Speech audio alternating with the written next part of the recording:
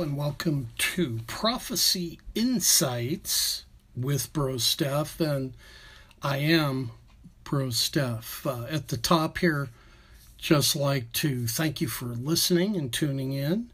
And you can find us on Facebook, Twitter, YouTube, all by going to brosteph.com. Brosteph.com, my connection zone website will connect you to everything that uh, that I do as far as social media and that kind of thing. Today's podcast I'm going to title Upside Down. And uh, I just want to relay a story to you that I heard today on a radio show that just blew my mind. And this happened in uh, Canada. So there is a waxing shop, you know, where women traditionally go in and they get their legs, I guess, done and faces done and other parts of the body they get waxed. Well, with this upside down world that we find ourselves in now, where men are women and women are men, and I heard today something like 54 different gender types. I mean, it's gotten to be that ridiculous. So, this lady owns this shop, is well known in Canada for her waxing uh, technique. And this uh, individual comes into the shop, says that she's a girl, but really, this person has male parts. And she says, the owner says, you know what? Uh, I don't wax male parts. I just do women here.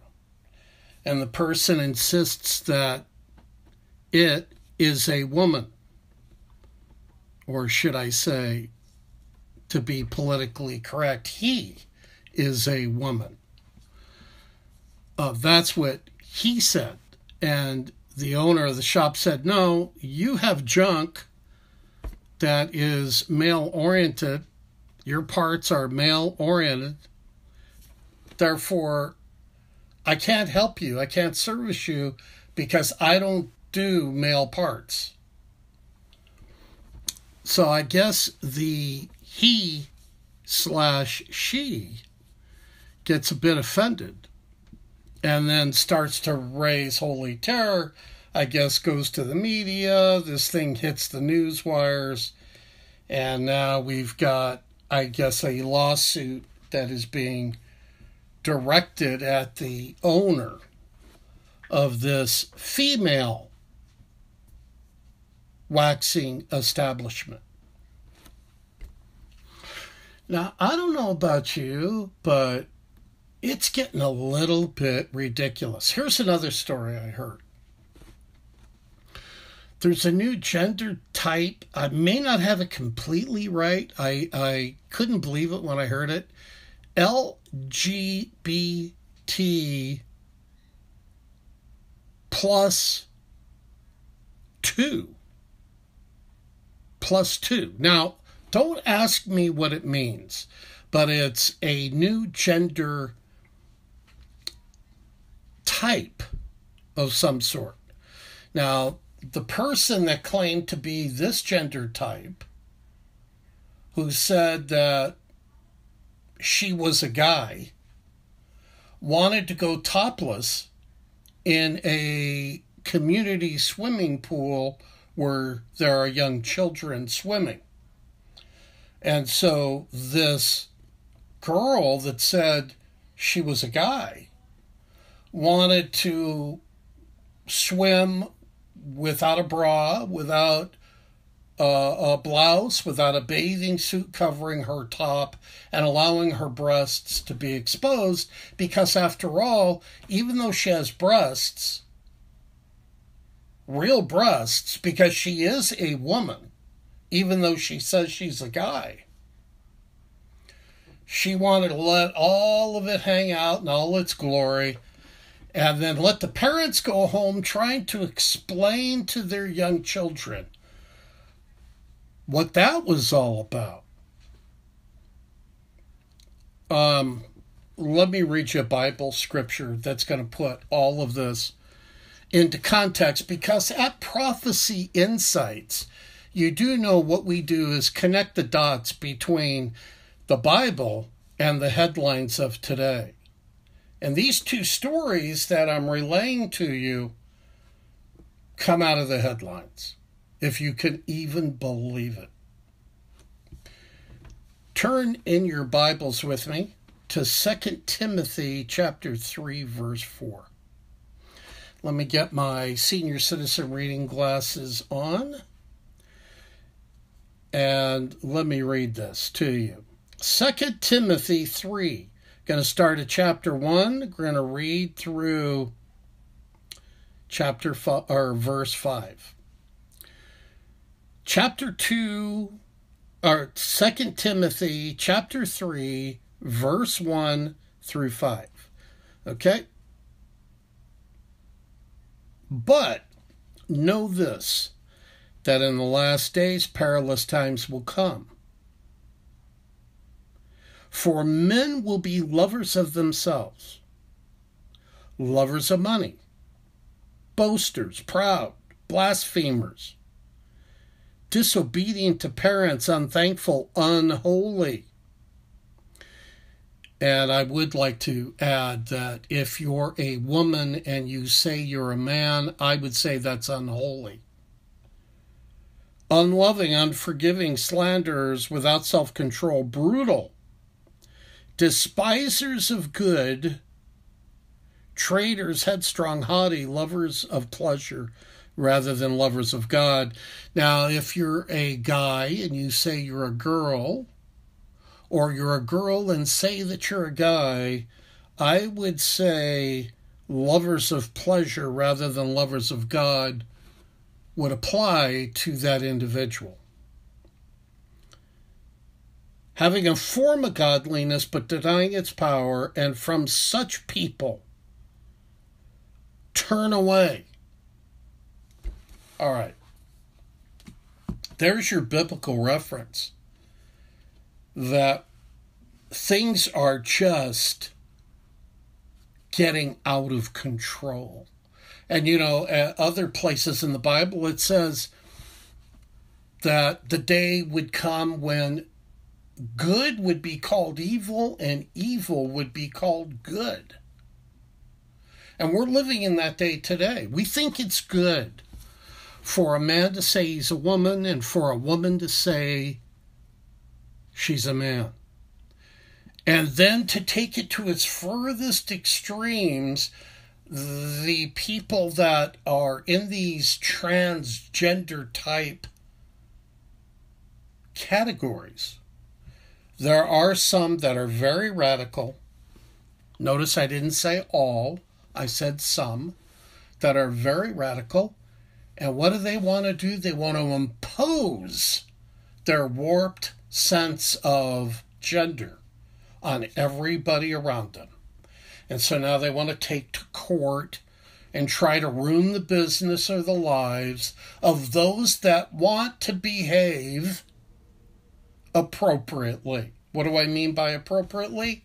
Men are men and women are women. It's that simple. I don't care what the society says. I don't care that society says that you can be a guy and say you're a woman and you can go undress in a locker room full of women when you're a guy. Society says, oh, that's okay now. No, it's not. It's wrong. It's biblically wrong. It's confusing to the children And it's really, really doing damage to our society at large. And I think the day is coming when God's going to lower the boom and drop the mallet,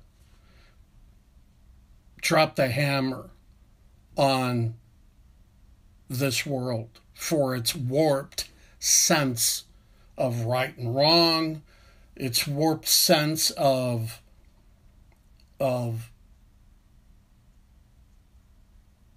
homosexuality being okay, lesbianism being okay, and now transgenderism, and then we've got all these other categories that have sprung out of this warped sense of self. And it all goes against God's principles, God's sense of morality. You know, and it's as though the devil today is doing all he can to undermine anything that is godly. And he's warping it, he's turning it inside out, upside down. And this world is becoming a place of violence, confusion. And remember, who is the author of confusion? not God, but the devil. The Bible teaches that. He's the author of confusion. He's been a liar from the beginning, a murderer. Deceit was found in his heart. And the Lord threw him out of heaven, threw him out down to the earth. And the day is coming when he will be banned forever from the heavenlies, and he will be here on earth doing his best to destroy it and its people. And he is going to go after the Jews and the Christians, Bible believing people with a vengeance. He hates anything to do with Jesus Christ, with God the Father and the Holy Spirit. He hates it. So that's where we find ourselves today. I just wanted to share those two headlines with you and then tie it to scripture rather forcefully. Um, now, am I being unreasonable? Am I mean because I'm standing on the truth, the biblical word of God? No. You know, when Noah was building the ark, and it was for what, like 120 years he was building that ark? And he was preaching, in a sense, preaching. I mean, the people came to us, what the heck you doing? I mean, it never rained. They didn't know what rain was. And he's building the ark, and the people are going, What are you doing? Have you lost your mind? And he says, Hey, judgment's coming. Uh, God is pretty much done with our, our violence and our sin and our behavior, and judgment is coming. Oh, you're out of your mind. And he just kept building the ark. Until one day, uh, God said, Get the animals in, get your family in, Noah. And then God Himself shut the door. Notice it wasn't Noah that shut the door, God shut the door.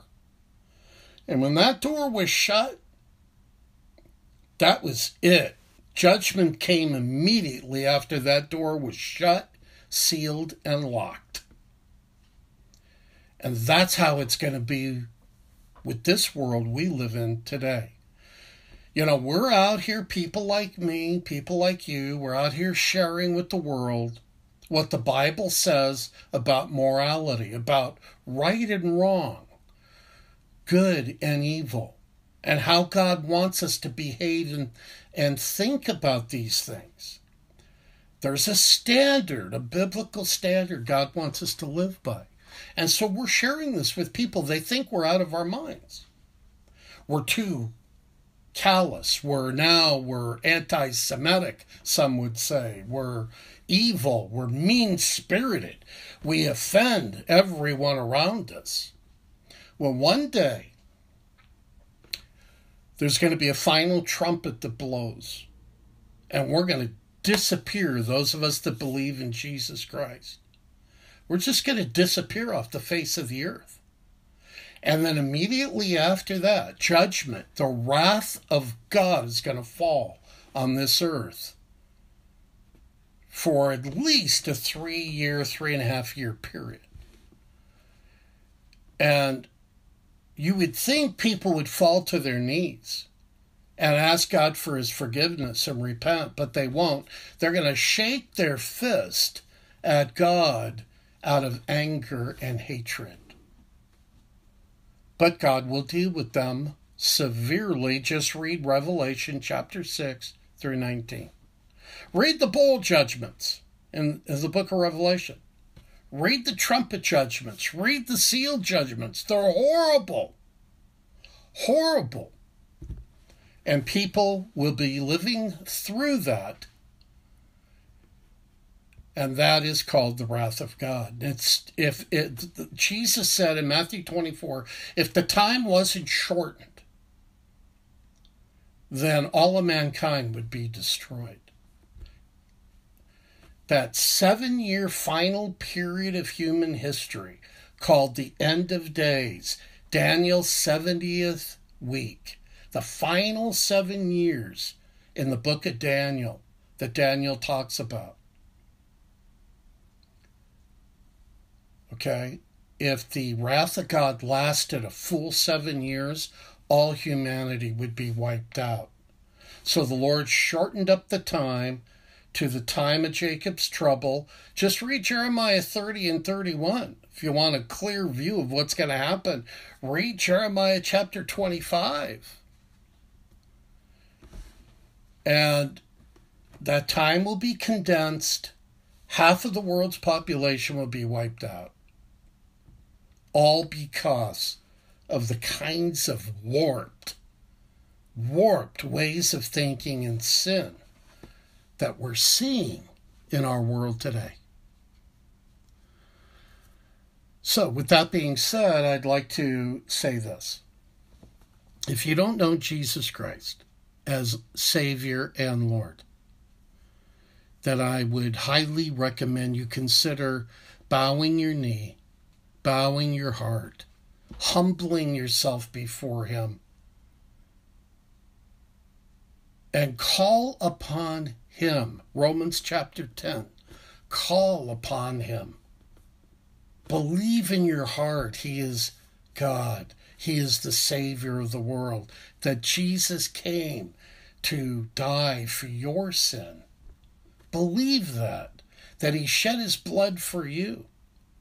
That he he lived a perfect sinless life for you and then died a horrible death on that cross, was tortured with a cat of nine tails and scourged to the place where he almost any human would have died from it.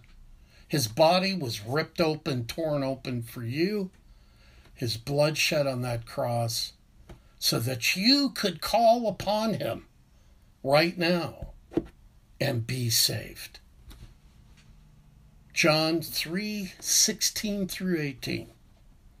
And you know, the Lord says for people that call upon Him and believe in Him, there's no more condemnation for those people.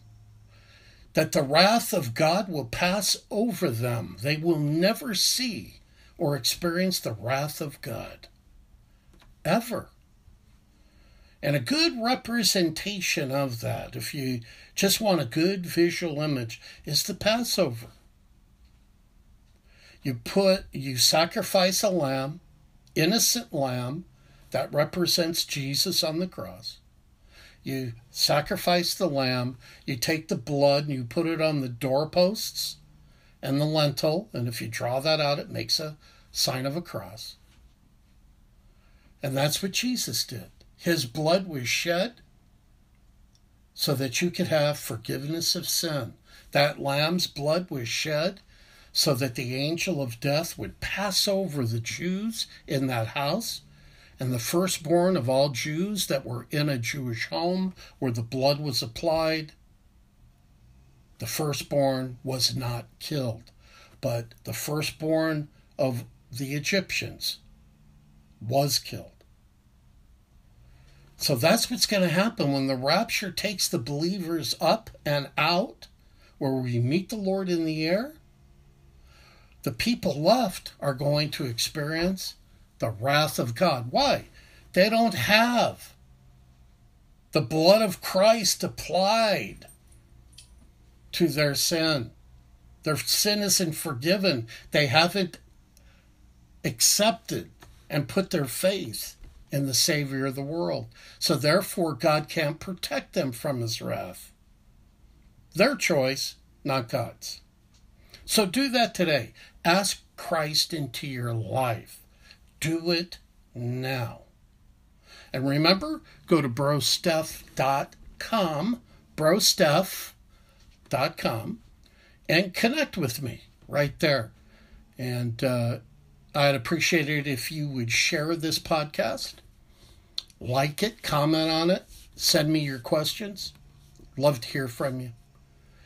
You make it a great day, and remember, keep looking up because Jesus is coming sooner than later. This is Bro Steph with Prophecy Insights. Bye for now.